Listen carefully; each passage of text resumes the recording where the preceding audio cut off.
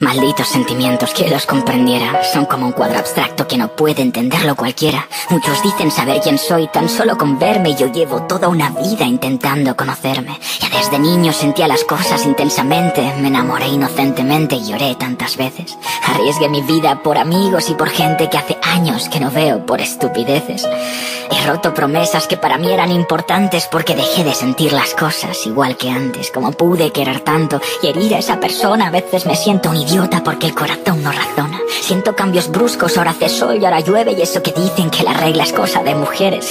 Mi estómago parece una montaña rusa, sentimientos que se cruzan y crean una realidad difusa y aunque suene excusa soy humano. Hoy me quedo con lo bueno y aunque duela pues aprendo de lo malo. Hermanos que me traicionaron por una noche de placer, cicatrices que me recuerdan como no quiero ser.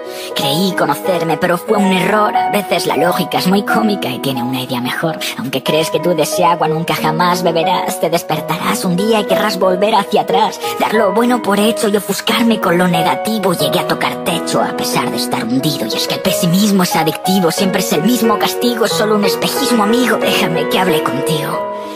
Sé que lloraste bajo la ducha y que cuando se habla uno a sí mismo nunca se escucha. Que tú siempre has estado cuando te han necesitado, pero te has ahogado solo cuando has pasado un mal trago. Es en esos momentos en los que descubres a los verdaderos amigos que en realidad valen la pena y aunque hierva por dentro. En esas situaciones acabas poniendo un muro y tu corazón se congela y compungido lo lancé y se rompió en tantos pedazos que no fue posible recogerlos ni con mil abrazos. Creí que lo correcto era nadar con la corriente, pero en su defecto aprendí cómo hacerle frente, pero no siempre fui autosuficiente.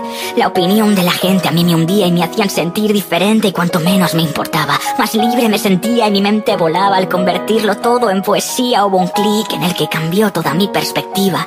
Decidí dejar de creerme mis propias mentiras. Entonces me miré al espejo, me grité despierta, nadie va a venir a tocar a tu puerta.